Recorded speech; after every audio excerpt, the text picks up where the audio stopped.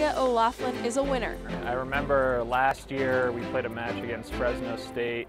She was in a very tight situation, a third set tiebreaker, and I had um, an audience member come up to me, tap me on the shoulder, and ask me if she was going to pull it out. And I remember without hesitation, I, I turned to him and I said, she's got this. The gentleman asked me, how do you know? And I said, she's a winner. She's an absolute winner. Winning is something Julia became quite familiar with at a young age.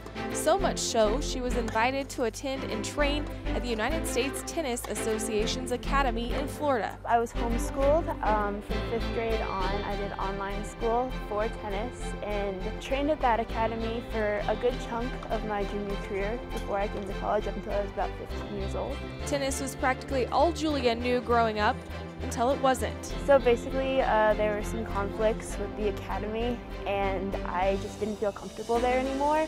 So I ended up leaving, and I didn't train as much off after that whole ordeal. She took some time away from the sport, but because she's a winner, it means she's also not a quitter. I didn't give up. Um, I took a little break, and then I decided like that this is my passion, and like I kind of felt like empty without tennis. I feel like I had something missing in a part of my life and I got back into it and then from then on I just discovered how much I loved it in the right environment and I kept pursuing my dream to play college tennis.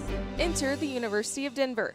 Before moving to Florida to train, Julia started her career playing on courts in Denver, not far from the Stapleton Tennis Pavilion. So when head coach Christian Thompson approached her about becoming a pioneer, it just felt right. I knew I loved the um, area, I knew I loved the city. I was always around campus, I knew I liked it, and then once I took a visit, I just knew that this was the place for me.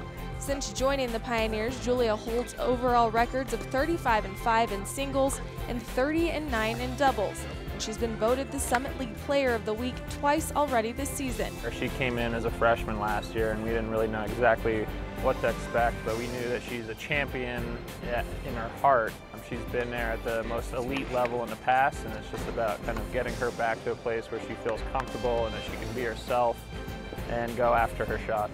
Julia is representing the Pioneers and is having success because she didn't give up. Because Julia O'Loughlin is a winner.